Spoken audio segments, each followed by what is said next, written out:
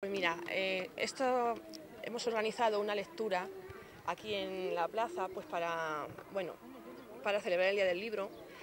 Y lo primero que hemos hecho, a primera hora de la mañana, hemos empezado sobre las 10, han leído niñas de la, de la ESO, de cuarto de la ESO, han preparado unos textos y han escrito algunas cositas ellas mismas y los han leído. Luego, a continuación, Teresa Sánchez Laguna, poeta de aquí de Valdepeñas, y yo hemos leído unas poesías, pequeño, un pequeño recital de poesía.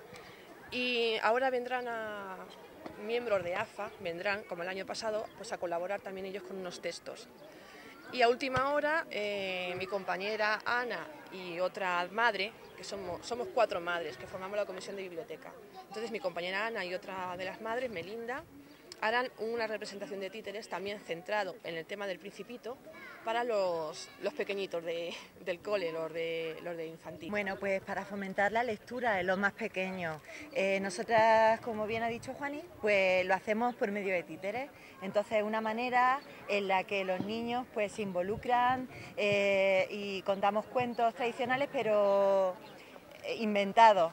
Entonces, o sea, personajes tradicionales pero inventadas los cuentos. Y bueno, pues la hacemos participar y sobre todo van con el mensaje de que deben leer más para tener más imaginación, para aprender vocabulario y, en fin, para, para que ellos puedan disfrutar leyendo también.